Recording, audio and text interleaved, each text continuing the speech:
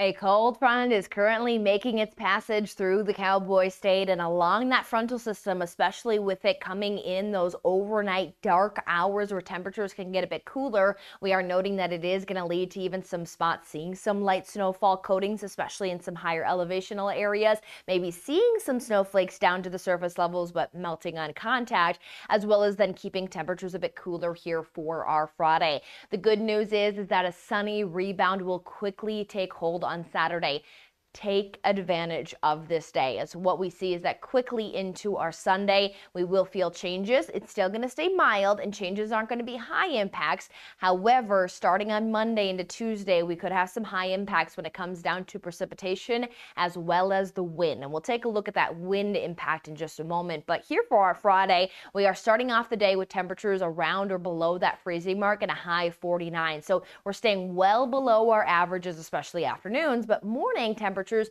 again, cool enough to allow for potentially some snowflakes. Now, again, snow is going to be definitely more prominent higher elevation points.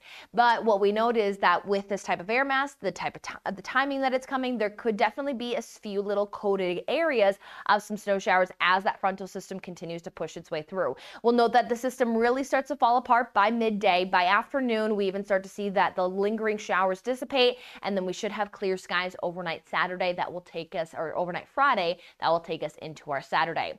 When it comes down to precipitation accumulation, it is very minimal. We can see the reflectivity is very light. We're only showing a few hundredths of an inch. And when it comes down to snowfall with that type of moisture, it is very, very limited. So again, not expecting any big impacts, more just going to be a cool spring day where we battle some of just, it feels like we should have experienced this last month, not in the month of May, but we'll get through it quickly. That's the good news. So uh, across the state, we are looking anywhere anywhere from about 40s to those 50s. So everyone feeling really the same. Good news about Friday, no wind. So that won't add too much of a chill in the air, but still definitely with the precipitation. It will feel like it's a very early spring-like day.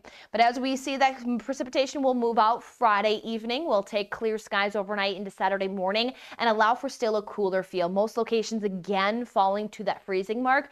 The good news is that starting the day off with uh, sunshine on Saturday should allow temperatures to climb very quickly This time of the year, that sun angle does a lot of work, and we're looking at even hitting at least those mid 60s, if not heading into those 70s. It should be a gorgeous day. Winds generally on the lighter side, up to maybe 25 miles per hour, but that is definitely manageable. But you can see the climb that is taken with those winds into Monday, and that's where our attention will be drawn for our next more impactful system that will also be associated with some precipitation, as well as keeping our temperatures below normal.